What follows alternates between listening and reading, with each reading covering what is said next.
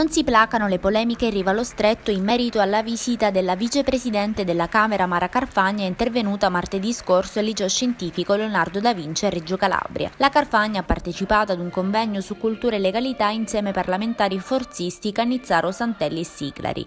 La deputata del Movimento 5 Stelle Federica Dieni ha annunciato la presentazione di un'interrogazione parlamentare in quanto l'evento possedeva una chiara matrice politica ed inoltre la dirigente scolastico Giusy Princi figurerebbe nella rosa dei papabili per una candidatura a sindaco della città, un'accusa quest'ultima smentita ai nostri microfoni dalla stessa dirigente. Non sono eh, interessata come non lo sono mai stata. Io amo la mia città, sto dando un contributo importante formando appunto le giovani generazioni che poi appunto mi auguro possano rappresentare quella futura classe dirigenziale e politica. Che... La senatrice pentastellata Bianca Laura Granato ha invece dichiarato di voler informare il ministro dell'istruzione Marco Bussetti, in quanto la dirigente avrebbe più volte nell'ambito di attività dell'istituto usato la scuola come proscenio per il partito di Forza Italia, in cui milita il cugino, ossia l'onorevole Cannizzaro. Anche su questo punto la Princi smentisce. Abbiamo ospitato altri parlamentari quali